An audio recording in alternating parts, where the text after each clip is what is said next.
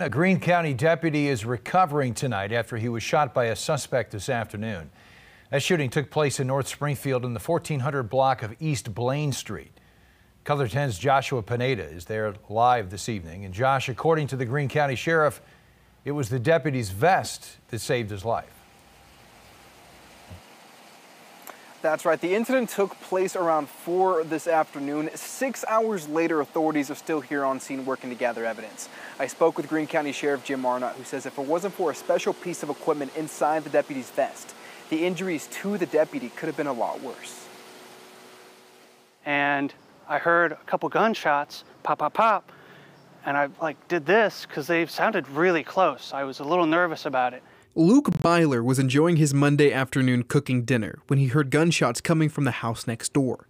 He says it's when he looked out the front door window when he saw guns drawn out. It's like this is getting pretty serious.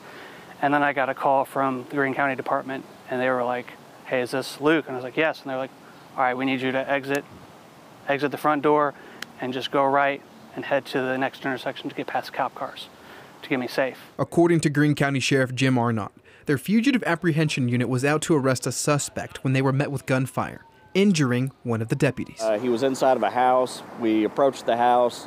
Uh, subject started firing on deputies with a rifle, struck one of the deputies, and uh, who was in stable condition. Sheriff Arnott tells me the deputy was saved by a very special piece of equipment that was donated by a member of the community. We didn't have in the budget enough money for uh, rifle plates to protect our deputies. We had a local business owner uh, about a year and a half, two years ago, donate rifle plates.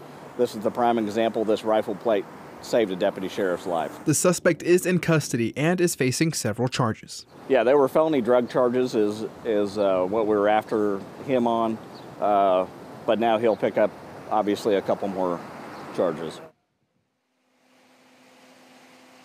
And Sheriff Arnott uh, uh, activated the Sheriff's Critical Incident Team to help with the investigation.